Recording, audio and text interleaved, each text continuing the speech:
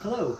Um, I've had a couple requests uh, to talk about the revisions we've made to our GR Lite. Um, so first and foremost, they used to come with helper springs. They're gone. Not doing those anymore. Too confusing. Just, yeah, they're gone. Uh, so what we did was, instead of having the helper, we now have longer mainsprings.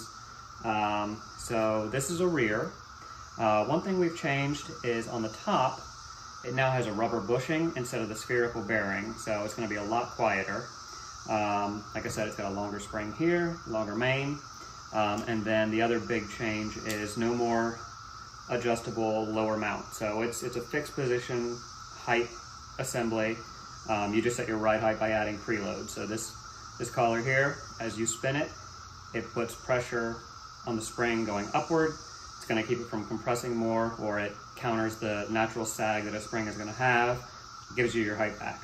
So that's the big change here. Uh, the reason we did the lower mount um, as a fixed position shock was we found that there was a lot of fitment issues with aftermarket lower control arms.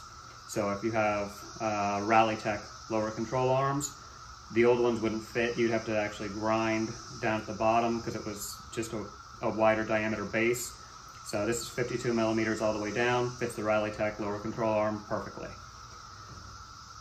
On the rear, um, not a lot's changed. Um, just the helper springs are gone. Um, one thing we did here, I'm gonna move this and I'll show you. On the bottom of the lower mount, it's got three braces. Uh, it's got a brace at the top and then a brace at the bottom. Just makes these hubs just super strong. Um, this is obviously a light duty off-road coilover just for lifting and just going out on trails and having some fun.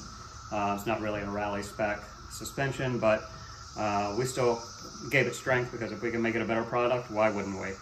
Um, that's the only real change up front. Still has your camber plate. Um, one thing I want to go over with you is setting these up. When you get them out of the box, um, generally it's got a yellow band on it because the assemblies are long, uh, don't really fit in the box that well, so we have to compress them down. To do that, we have to take preload off, so this spring usually has a gap of about this much. So you have to adjust the, the spring collar um, and just move it up and get this tight. You don't want it to be overly tight, like as you can see here, I can move it because it's loose, but it doesn't go up and down. That's zero preload. So keep it there. What you want to do when you get this installed, loosen this ring, and then you'll actually rotate the entire body. This will stay in its place, and you'll spin the entire assembly. And as you do that, it's going to start coming out of here. So I'll loosen this up like that. And then as you spin it,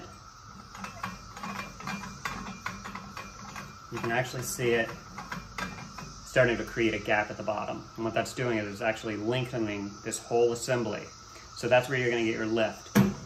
All you're gonna do with preload is, depending on the springs you have, if you have a light spring, it's gonna compress a little bit easier. You're just gonna just give it maybe an inch of preload just to get some of your bump travel back. But again, you don't want to be forcing this spring all the way up or else when you take a tire off the ground, it, it's not going to articulate. You want to have some motion. So um, do spring preload as a last resort. If this body height mount doesn't get you enough, get another inch out of this, but that's it. Don't, don't go for any more than that. Um, other than that, we have a, a, setup guide on the site. It's under our technicals tab.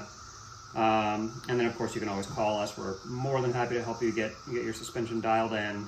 Um, but that's it. So just wanted to go over a little bit of the new GR Lites and um, hope to see you order. Thanks a lot.